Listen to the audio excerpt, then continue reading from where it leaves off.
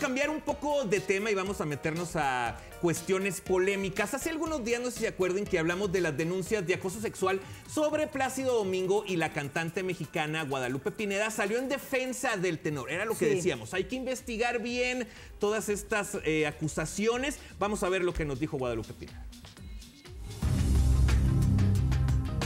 La verdad un shock muy grande. Eh, yo, pues, perdón, yo me permito dudar de ello.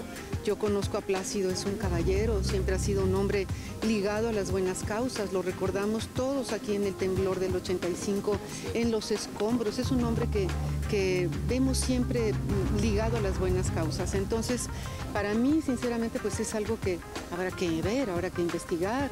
eh, pero pues eh, hay que, hay que pensar que eh, siempre darle el beneficio de la duda.